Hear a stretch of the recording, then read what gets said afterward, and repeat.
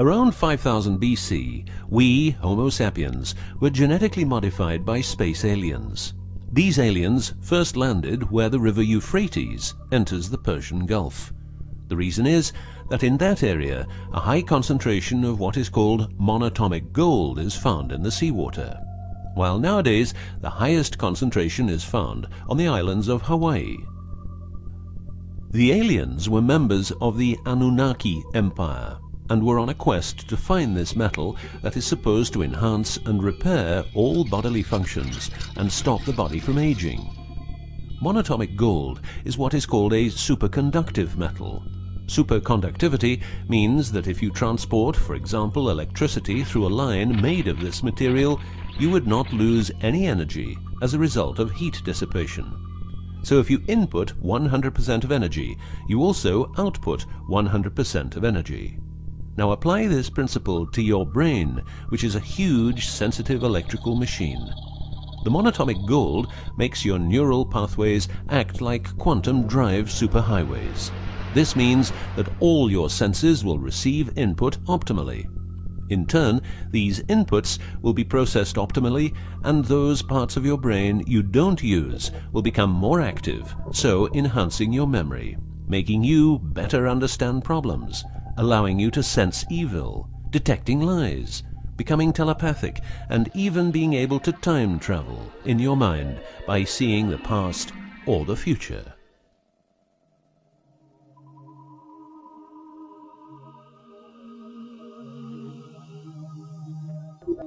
So the Anunnaki, which is the name of the empire which includes races like the Saurian, or as they are called the Reptoids, the Argarians or Nordics because of their human looks, and the Greys from Zeta Reticuli, were looking for monatomic gold. This involved enormous effort because it had to be extracted from seawater, or by processing it in such a way that the gold, usually in pairs of eight atoms per molecule, could be separated into individual particles. In this fashion, the monatomic elements were separated from the multiatomic cousins. In a similar way, uranium-235 is produced. For the use as intelligent slaves, the Anunnaki took a man, let's call him Adamski, and took out a part of a rib. This is because the rib is a part of the human body that can be removed without causing too much damage, and because the rib contains bone marrow, it's a perfect source for DNA. The Anunnaki modified the DNA for a better manipulation of the humans and implanted it into a woman. Let's call her Mulva. Mulva then had children with Adamski, and their children were, just like Mulva, genetically modified. These humans worked for the Anunnaki, but not a lot of humans knew about the Anunnaki, and then, for some reason, the Anunnaki disappeared. An interesting detail is that the symbol for human DNA resembles the word Yah, which is God, but surely this is a coincidence.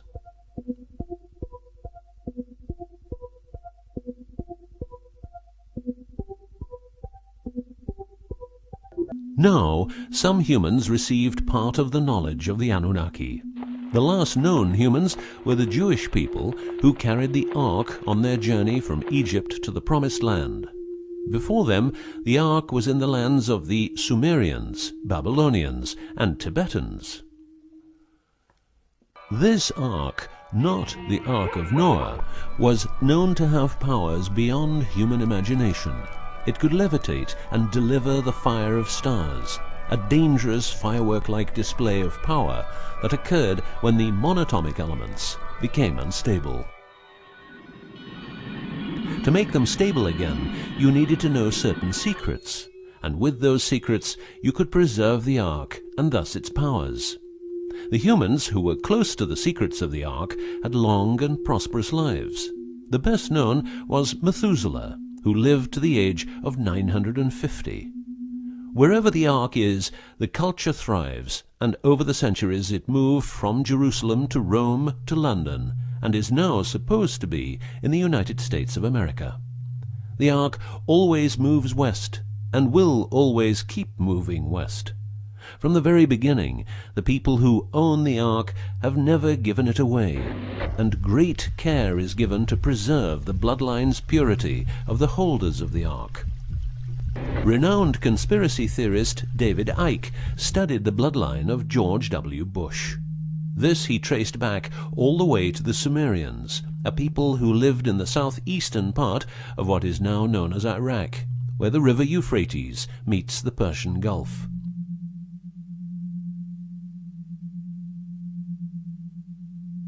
The secrets of the elements of the ark, scientifically known as ORMs, orbitally rearranged monatomic elements, are nowadays hidden by secret societies that have control over society worldwide.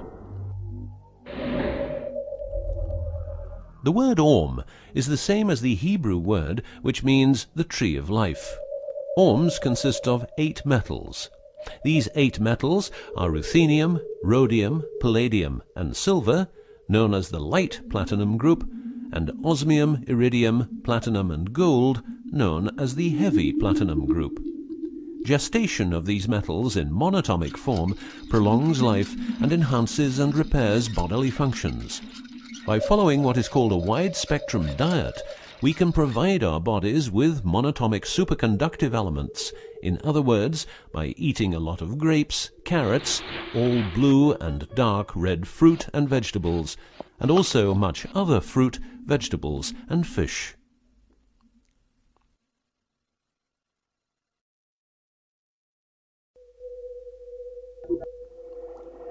There are countless fragments of footage shot by both Russian and American astronauts, which show the vast number of lights that seem to be attracted by releases of electromagnetic energies by both the Earth and man-made objects such as satellites. In Building 8 of the Johnson Space Center in Texas, the USA, high-resolution pictures taken by satellites are photoshopped each day to remove proof of aliens. In the film The Secret NASA Transmissions, the footage, it becomes clear that astronauts have grown accustomed to these strange anomalies and that even in 2000 an unprecedented cooperation between NASA, the Russian Space Agency, and a committee of UFO experts was formed to share knowledge on this subject. To better understand this whole story, a few revelations are in place. Everything vibrates because atoms vibrate, and that is because the subatomic particles are in harmonic resonance, a fancy word for vibration and keeping themselves in equilibrium. Gravity is vibration generated by the presence of mass, and it can be neutralized by altering the harmonic resonance of the gravitational field. In other words, if you generate vibrations, you can alter gravity and with superconductive materials, the amount of energy needed for generating the vibrations is greatly reduced. A practical example of reducing one vibration with other vibrations is the use of anti-sound. If you instantaneously produce the exact opposite waveform that comes towards you in the form of sound, the sound will cease to exist. This is called destructive interference. One of the forms of creating anti-gravity is called auditive levitation, a method used by Tibetan monks to elevate rocks over 250 meters high and 250 meters distance. By arranging drums and trumpets extremely precisely, together with some 100 men chanting, all arranged in a precise manner, the monks, after about five minutes, could levitate a rock weighing a ton and place it exactly where they wanted it.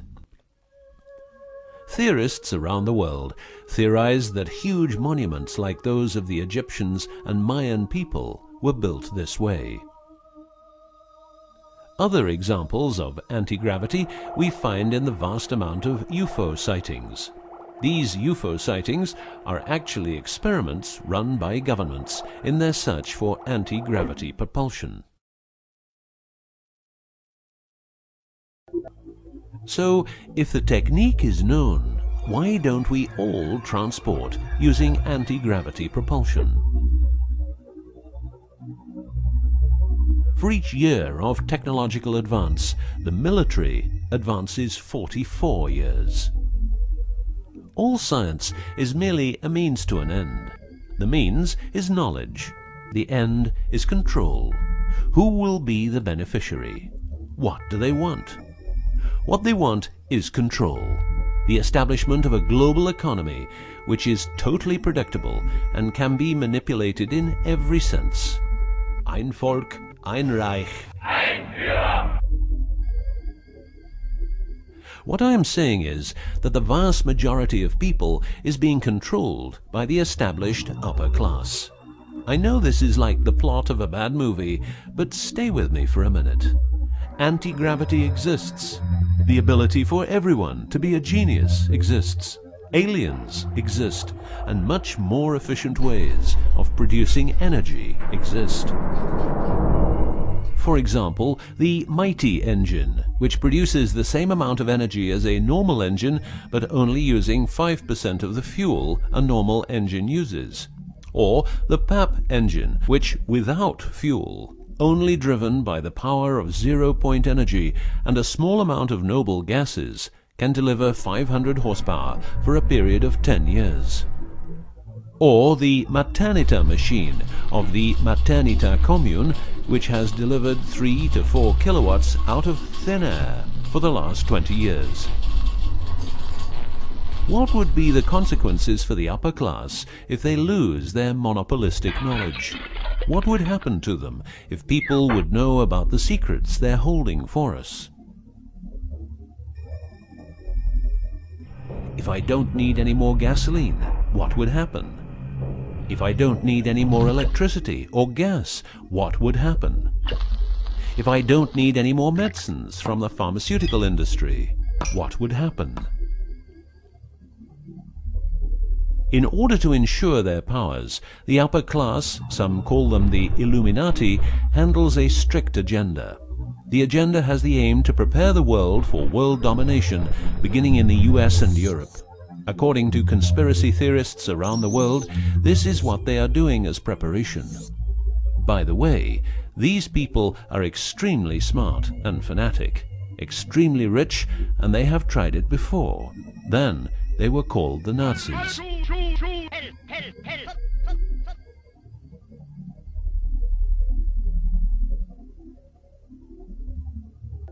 Although what you are going to see and hear sounds very peculiar, remember that a lot of people, for instance, ex-personnel of the US and UK armed forces, have been brutally murdered for making their information public. Let's begin with 9-11, but first a little history. What the Second World War did for the US is that it gave the country such an economic lead that it could easily grow more comfortable in its already powerful role. The industry of war gave everybody jobs, and therefore everybody could start consuming. Marshall aid gave Europe the economic impulse it needed. In other words, war leads to flourishing economies and leaps forward in technology.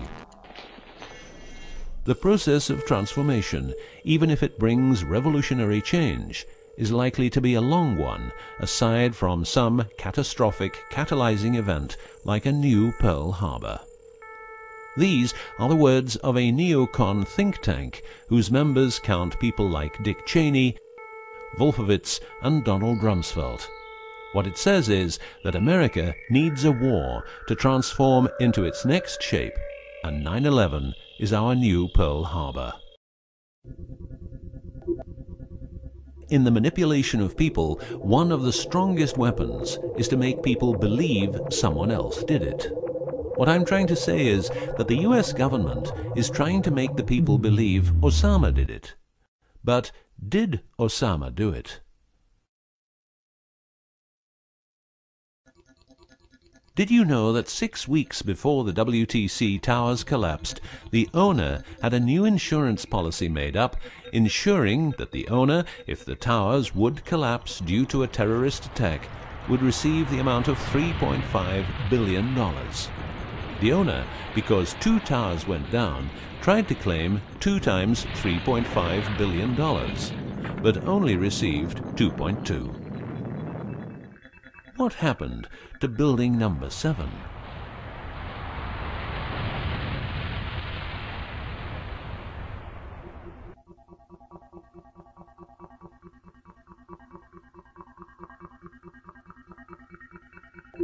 In order to control people who can be a hazard to the bad guys, the bad guys have control of a number of tools. One of these tools is the remotely operated electromagnetic frequency weapon, these use microwave, ELF, extremely low frequencies, and acoustic frequencies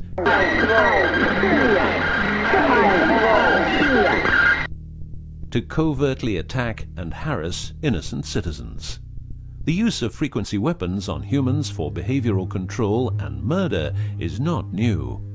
For well over 50 years, neuro-electromagnetic frequency weapons have been perfected for their covert use in warfare. These classified, non-lethal or silent weapons, as they are known in the trade, have also been perfected by experimenting on an innocent and unsuspecting public since their early development. Directing a beam of frequencies to a human can cause a series of effects. A well-known effect is ELFs causing nausea, headaches, wild racing heart without cause, sudden violent itching in different parts of the body. A frequency weapon can look like this, or like this. Its shape depends on how frequencies have to be directed to the target.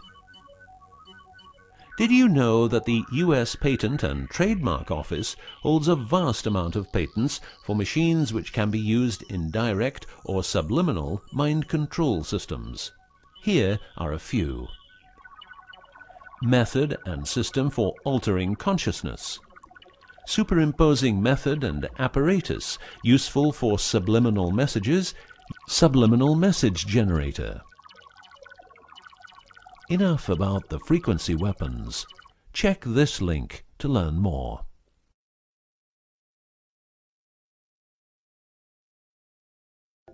You will realize that to control people, you have to know what they are communicating.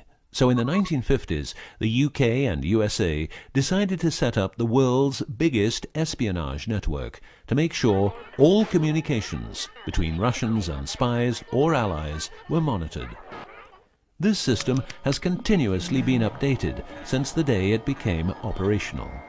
The system's name is Echelon and consists of a vast network of listening posts, extremely advanced computers, an enormous number of people, dishes, and taps.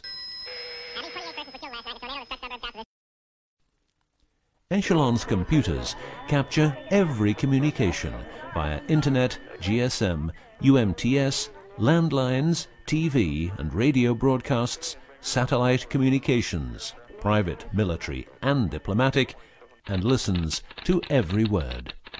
The computers work with a list of keywords and when a message contains one or more keywords, the message is directed to a specialist who examines the message. If it is suspicious, further action may be taken. Echelon centres are around the world, but here are the best known locations. Menwith Hill, North Yorkshire, England. HAARP, Remote Mind Control Computer Centre, Alaska. Pine Gap near Alice Springs, Northern Territory, Australia. Pine Gap has a complex of radomes, a huge computer room, and about 20 support buildings. The signals analysis section of the computer room is staffed exclusively by CIA and NSA analysts. Within the USA, Australia and the UK, the NSA can plug into every telephone call and message entering, leaving or transiting the country. The NSA is also constructing a network of towers up to 500 feet high, each tower at a distance of 200 miles from each other and stretching from the east to the west of the US. The network is called GWEN, ground wave emergency network. This network transmits very low frequencies combined with ultra-high frequencies and is used in case the communication systems in the US are rendered useless because of a nuclear attack. Coincidentally, the frequencies of Gwen coincide with the frequencies being used by frequency weapons. Also coincidental is the fact that mobile telephone systems like GSM and UMTS also operate in the same frequency areas as some frequency weapons. To further prepare for global domination, the secret US government, led by the corrupt holders of the Ark, also known as the Illuminati, or the New Global Union, or the New World Order, or just plain Nazis using the Eye of Lucifer as their symbol, has started building since the 1940s large underground bases with every commodity you can think of. These bases are basically large cities underground connected by high-speed magneto-leviton trains that have speeds up to Mach 2. According to Phil Schneider, the black budget is a secret budget that garners 25% of the gross national product of the United States. The black budget currently consumes trillions of dollars per year.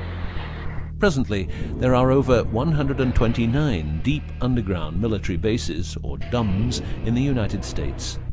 These underground bases were built using nuclear-powered laser drills that can drill 7 miles per day. Also, dedicated nuclear explosions were held to create large underground spaces. A lot of contractors work in these places, but never more than three to four weeks always under strict supervision, and before entering a site they are warned that if they talk about what they see, it will cost them their lives. As mentioned, men are the result of a genetic modification by space aliens. These aliens have been on Earth for a long time and lived in large underground cities all over the world.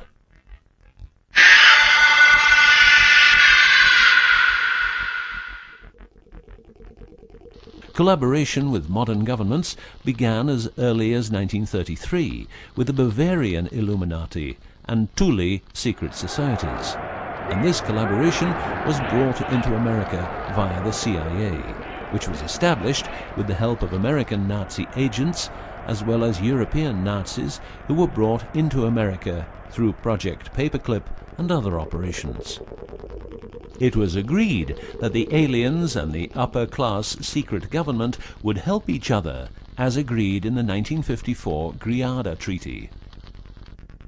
By 1979, the aliens didn't respect the treaty at all, and it was in this year when, at Dulce Air Force Base, a huge underground base was being built, and during excavation an underground alien city was discovered. There are several species of aliens working with the U.S. at the Underground 7 level facility at the Alien U.S. Government Biogenetic Research Base in Dulce, New Mexico. The reason they help the U.S. government is because the aliens need space here on Earth for conducting experiments on humans and storing humans in suspended states for reasons unknown. In exchange, the aliens give the U.S. government technology. Examples of these technologies are stealth aircraft, anti-gravity propulsion, genetic research, quantum technologies, computer technology, biological warfare, medicine, GSM, etc. The greatest weapon the devil has is the disbelief people have in him. The devil represents evil, and those who want to dominate are the evil ones because they keep their knowledge from saving lives and improving the world. Instead, the evil ones will make the people more docile and stupid, using more tricks in order to achieve their goal, which is world and universal domination. The story of the aliens seems so unreal that, like the devil, it is subject to ignorance and ridicule, and that is its greatest weapon. In the past and present, the evil ones have tried a number of methods and products to manipulate people. AIDS, invented by a laboratory in Chicago, Illinois in 1972. It was a biological weapon to be used against the people of the United States. Second, the US government has a Tesla device to generate earthquakes. NASA only landed on the moon once. almost 90% of drugs trafficking is organized by the biggest secret services in the world, like CIA, NSA, MI5, MI6, and so on. Since the US is in Afghanistan, poppy production has reached an all-time high, and never has there been so much heroin on the market. People who don't need drugs needn't worry. Their needs are covered by the pharmaceutical industry. The global warming story is a hoax. The Earth is warming up, but not as a result of CO2 produced by man, but because the cycle of the Earth is just like it is. Remember that 10,000 years ago the whole northern part of the world was covered in ice. It's what we call an ice age. The Ark, in its recent form, started its journey in the deserts of Egypt and was carried to the Holy Land by the Jewish people. In Jerusalem, the Ark started its journey around the world heading west. Everywhere the Ark has been, one or more obelisks are erected as a symbol of establishment. In the future, the Ark will travel to China, Russia, Iran, until it reaches Jerusalem again, which means the whole world will be under the influence of Lucifer's eye. That will be the moment the Anunnaki Empire will settle and rule Earth uncovertly. On many important sites in the world, buildings carrying symbols of Lucifer's return are common. The best known example is the Pentagon, which suggests a pentagram referring to the Jewish symbolism and the symbolism of the Ark. Another example is the Israeli High Court. It's a building with dozens of satanic and secret symbols. Like the eye of Lucifer, an inverted cross you can walk on, its numerical anomalies. It was built in exactly 750 days used exactly 250,000 stones, all hand-laid, and was funded by the Rothschilds, the founders of the central banks and the World Bank.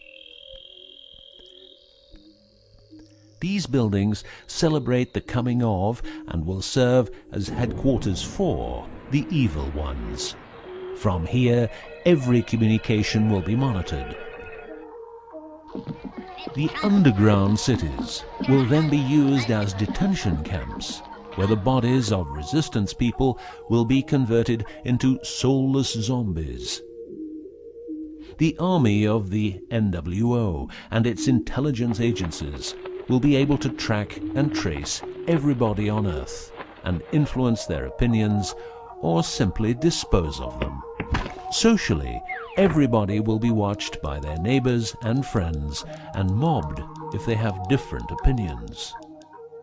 The rich, richer and smarter, the poor, poorer and dumber, will support the pyramid with Lucifer's eye on top, as it has always been. This will be the future, and the future is now.